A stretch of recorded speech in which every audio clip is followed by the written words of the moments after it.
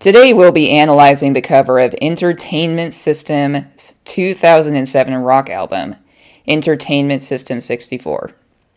When I analyze art, I identify the focal point and see how the rest of the piece supports it.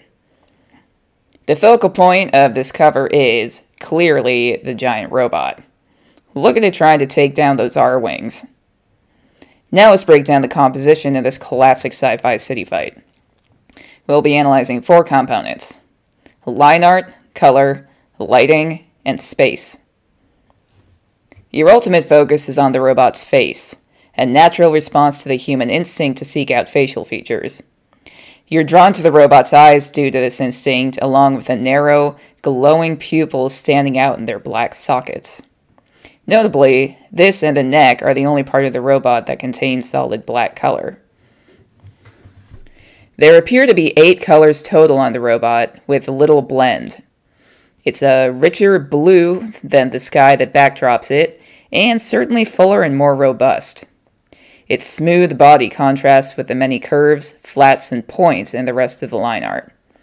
The glowing and zapping from its plasma beams add color contrast and action. All these things help establish the robot as the focus of the piece. Now let's look at the plasma beams. The ones shooting out of its shoulder and left hand are straight, fitting for a robot. The big cannon making up its right hand, however, simultaneously shoots six curved lightning bolts. They spread through half of the picture, balanced when necessary with silhouettes of buildings and aircraft being obliterated in its heat.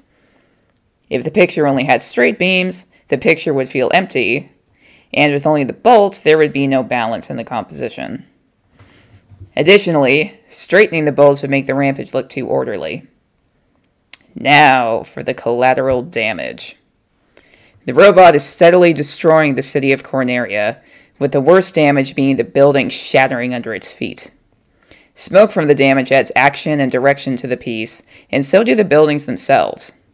They are made from a variety of shapes, heights, and color tones.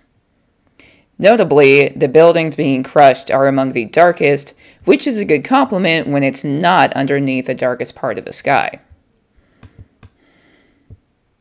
At the bottom of the piece, we have water, which ties down to the other blue objects and provides boats and lights to keep it from being empty. Going back to the sky, you can see how each aircraft was placed well on the page.